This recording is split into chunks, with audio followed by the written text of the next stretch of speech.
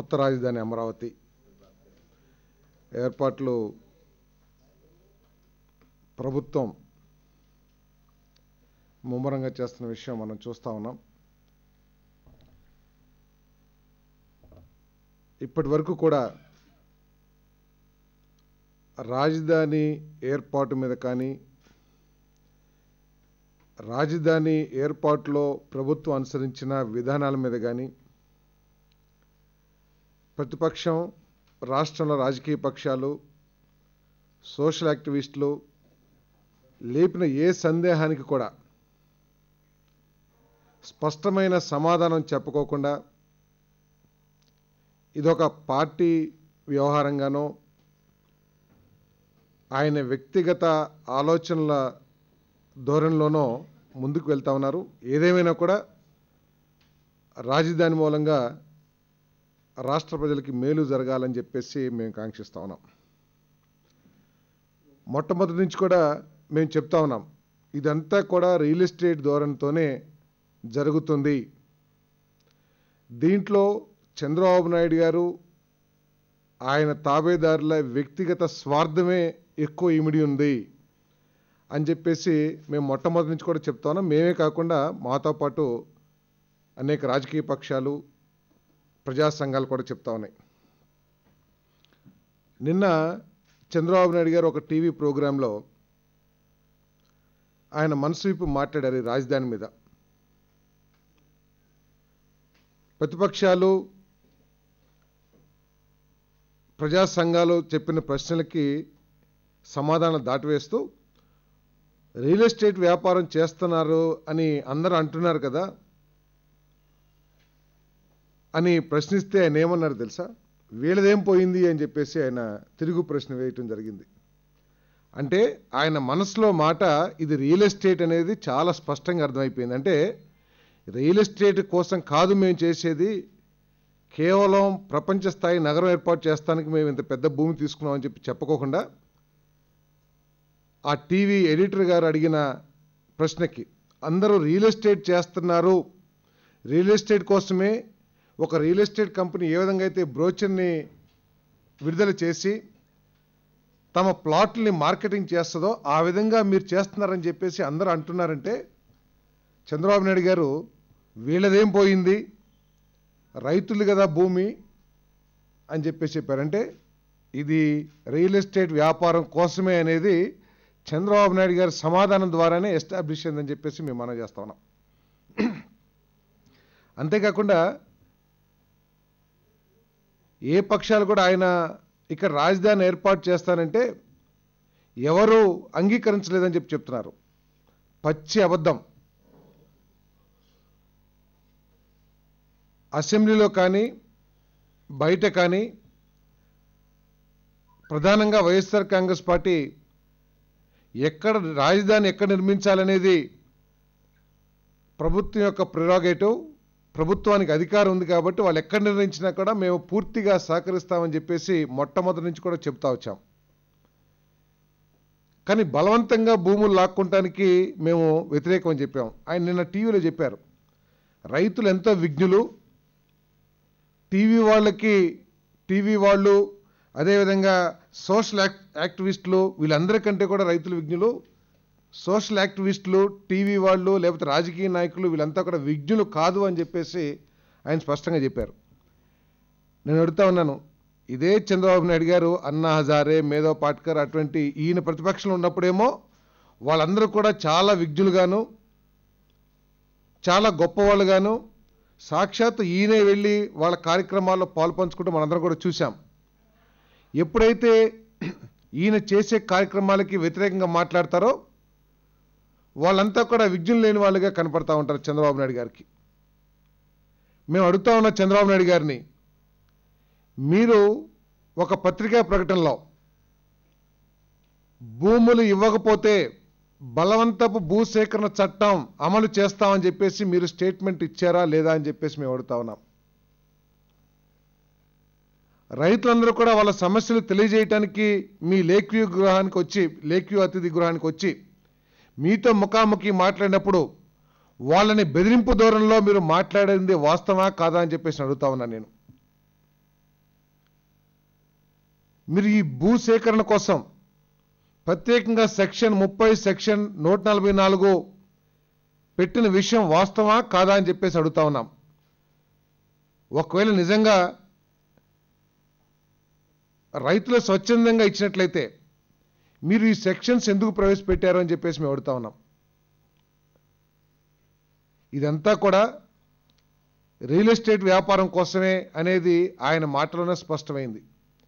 ఇంతకుముందు ఒక foreign PhD student అనుకుంటారు మీ అందరూ కూడా వచ్చింది వాట్సాప్లో ఆమె ఇదంతా కూడా స్టడీ చేసి చంద్రబాబు నాయుడు గారి విధానాల మీద ఒక ప్రత్యేకమైన స్టడీ చేసి ఆయన ఎక్కడ ఏది ఏర్పాటు చేసినా కూడా తన వర్గం వారికి తన పార్టీ వారికి మేలు జరిగే విధంగా నిర్ణయాలు తీసుకుని ముందు వాళ్ళ వాళ్ళకి ఇన్ఫర్మేషన్ ఇచ్చి రియల్ ఎస్టేట్ వ్యాపారం చేపిస్తారని చెప్పేసి ఆ పిహెచ్డి చేసే ఫారిన్ విద్యార్థి. అదే మన రాష్ట్రం వాళ్ళైతే ఏదో వాళ్ళు వైఎస్ఆర్ కాంగ్రెస్ పార్టీ వాళ్ళనో లేకపోతే ఇంకొక వర్గం వాళ్ళని చెప్పేసి బురజల్తానికి అవకాశం ఉండేది. విదేశీ పిహెచ్డి స్టూడెంట్ చెప్పిన విషయం. చంద్రబాబు నాయుడు గారు హైదరాబాద్లో కూడా హైటెక్ సిటీ కట్టినప్పుడు మీరు ఇప్పుడు చూసినా కూడా దాని పక్కన జైబేరీ ఒక్కటే తప్పితే ఇంకేది కనపడదు నాకు కొంతమంది అధికారులు కూడా చెప్పారు. ఆయన ముఖ్యమంత్రిగా ఉన్నప్పుడు ఈ హైటెక్ సిటీకి స్థలాన్ని సెలెక్ట్ చేసిన తర్వాత ఆఫీస్కి వచ్చి మొట్టమొదటిగా చేసిన కాల్ మురళీమోహన్ గారికి అని చెప్పేసి కొంతమంది అధికారులకు చెప్పడం జరిగింది. ఈరోజు కూడా ఆయన ముఖ్యమంత్రి అయిన తర్వాత నూజివీడులో రాజధాని ఆగిరిపల్లిలో రాజధాని అని చెప్పేసి వార్తలు వస్తున్న నేపథ్యం. ఆ నేపథ్యంలో అనేక మంది అమాయకులు చిన్న చిన్న పెట్టుబడిదారులు కోట్లాది రూపాయలు కోల్పోతు నష్టపోతున్నారు అని చెప్పేసి పేపర్లో వచ్చినా కూడా మీరు ఇటువంటి వాటికి పాల్పడవద్దు ఇటువంటి రియల్ ఎస్టేట్ వ్యాపారానికి మీరు చేయొద్దు. ప్రభుత్వం తరపు నుంచి అటువంటి అమాయకులు రక్షించే ప్రయత్నం కూడా చేయకోకుండా తుళ్ళూరులో ప్రకటించిన విషయం మనందరం కూడా చూసాం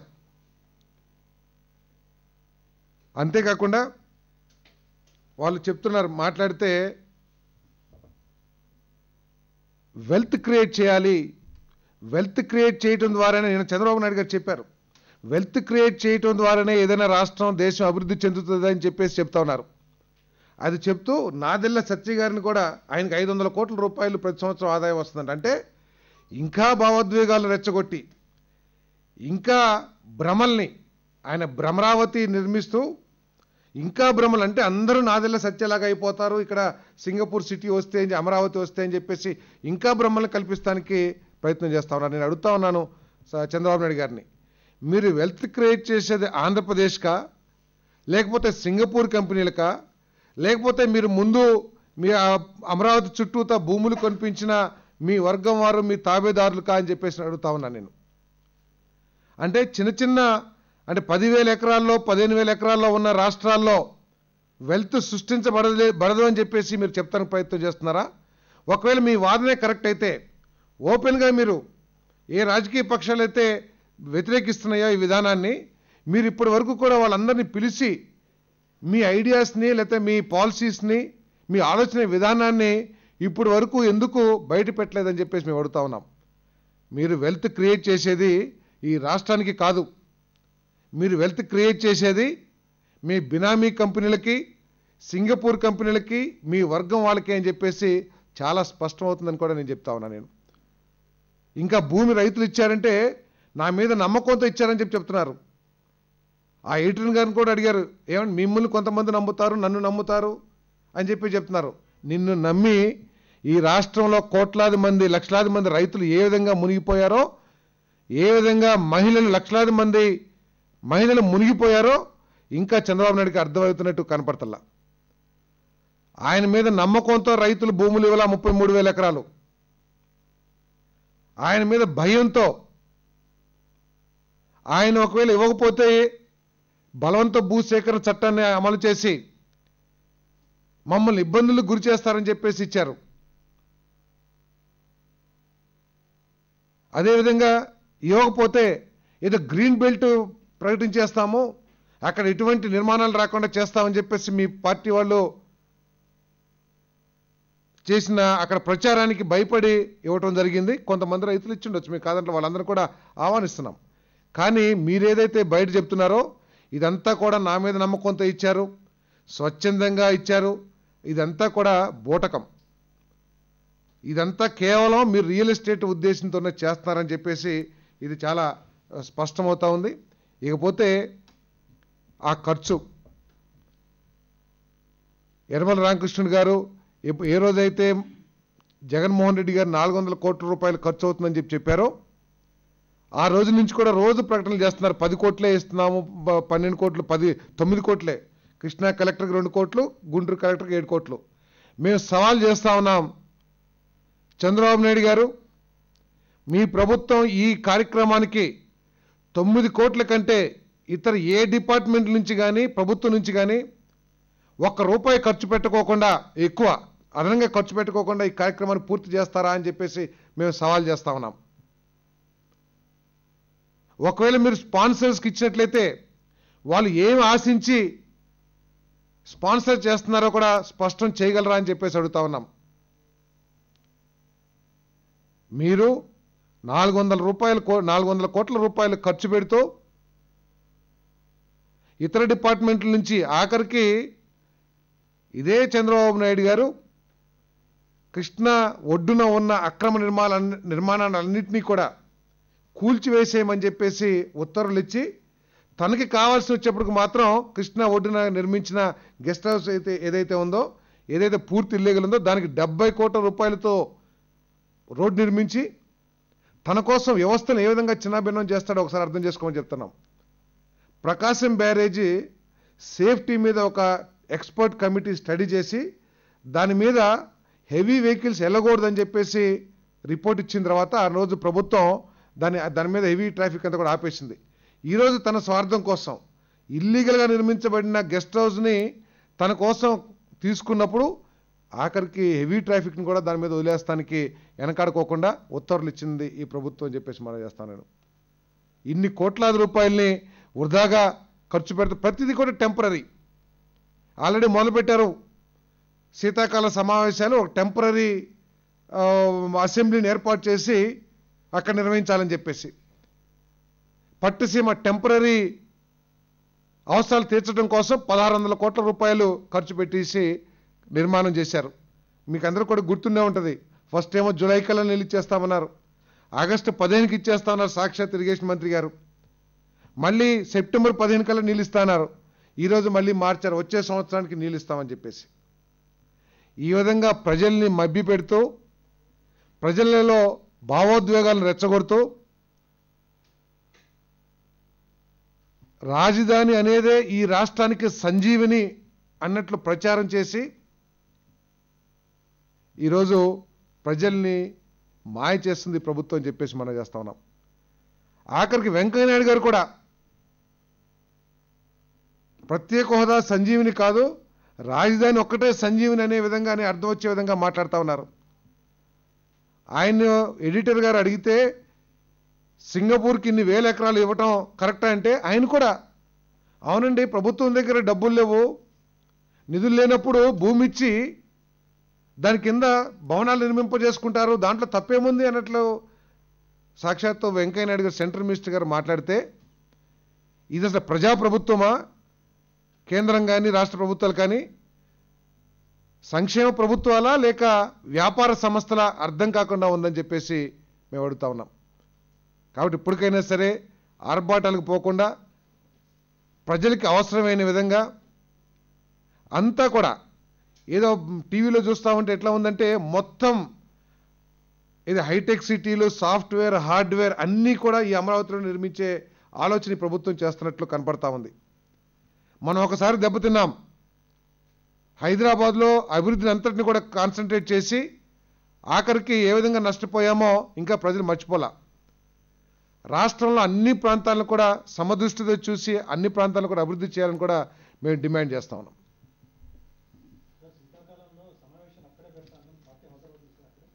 తప్పకుండా. శీతాకాల సమావేశాలు శాసనసభ సమావేశాలు మా హక్కు ప్రజల సమస్యలు లేవనెత్తడానికి అది ఒక వేదిక.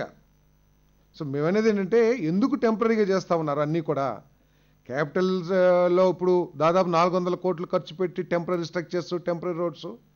రేపు అసెంబ్లీకి కూడా కొన్ని పదుల కోట్లు ఖర్చు పెట్టి టెంపరీ పట్టుసీమ టెంపరీ అని చెప్పేసి చెప్పారు. ఎందుకంటే మళ్ళీ మోడల్ తీసుకెళ్ళిపోయి ఇంకో చోటు పెడతామన్నారు.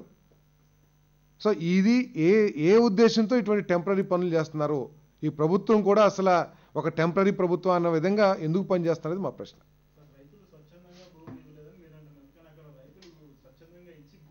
మేము అందరిని అనలా మేము అందరిని అనలా అందరూ ముప్పై మూడు వేల ఎకరాల రైతులు కూడా స్వచ్ఛందంగా ఇచ్చారని చెప్పి చెప్తున్నారు. ఇప్పుడు ఒక సాక్షాత్ ఒక రాష్ట్రాధినేత మీరు భూమి మర్యాదగా భూములు ఇవ్వకపోతే బలవంతపు భూ సేకరణ చట్టం అమలు చేస్తామని ఒక సాక్షాత్తు ప్రభుత్వాధినేత ప్రభుత్వ అధినేత ఇస్తే రైతులు ఏ విధంగా భావిస్తారో ఒకసారి ఆలోచించామని చెప్పేసి మనం చేస్తాను. సాక్షాత్ వాళ్ళు ముఖామికి వచ్చినప్పుడు వాళ్ళని బెదిరించే దూరంలో మాట్లాడితే రైతుల మనోభావాలు ఏ విధంగా ఉంటాయని చెప్పి ఆలోచించమంటాను గుడి కట్టి పూజలు కూడా చేస్తారు ఒకళ్ళిద్దరు ఉంటారు. కొంతమంది మేమేమి హండ్రెడ్ పర్సెంట్ ఒక్క ఎకరం కూడా స్వచ్ఛందంగా రాలేదని చెప్పేసి మేము చెప్పట్లా. ముప్పై మూడు వేల ఎకరాలు స్వచ్ఛందంగా వచ్చింది వాస్తవం కాదని చెప్పేసి మనం చేస్తున్నాం. నూట నలభై నాలుగు సెక్షన్ ఎందుకు పెట్టాల్సి వచ్చింది? ఒకవేళ రైతులు స్వచ్ఛందంగా వచ్చి మాతి తీసుకొని మాతి తీసుకొని అంటే ఎందుకు నూట నలభై నాలుగు సెక్షన్ పెట్టాల్సి వచ్చింది? జగన్మోహన్ రెడ్డి గారు పవన్ కళ్యాణ్ గారు వీళ్ళందరూ వెళ్ళిన తర్వాత బలవంత భూసేకరణ చట్టానికి వ్యతిరేకంగా ఉద్యమం చేసిన తర్వాత జగన్మోహన్ రెడ్డి గారు విజయవాడలో నిరాధ్యక్ష చేసిన తర్వాత రెండో రోజు ఎందుకు విత్డ్రా చేసుకున్నారు? బలవంత భూసేకరణ చట్టం కాకపోతే? సో అది మా అభ్యంతరం. సో రియల్ ఎస్టేట్ వ్యాపారం అనేది చంద్రబాబు నాయుడు గారు కన్ఫర్మ్ చేశారు నిన్న. వీళ్ళదేం పోయింది అంటే నిన్న మీరు కూడా చూసింటారు టీవీ నైన్లో. రే ప్రతిపక్షాలు వీళ్ళందరూ కూడా విమర్శిస్తున్నారు రియల్ ఎస్టేట్ వ్యాపారం కోసం ఇదంతా చేస్తున్నారు. ఒక రియల్ ఎస్టేట్ ప్రాజెక్ట్ లాగా మీరు మార్కెటింగ్ చేస్తున్నారని అంటే వీళ్ళదేం పోయింది అని అన్నారు. అంటే వీళ్ళదేం పోయిందంటే ప్రతిపక్షానికి బాధ్యత లేదు ఇంకెవరు మాట్లాడకూడదు అన్నట్టు అంటే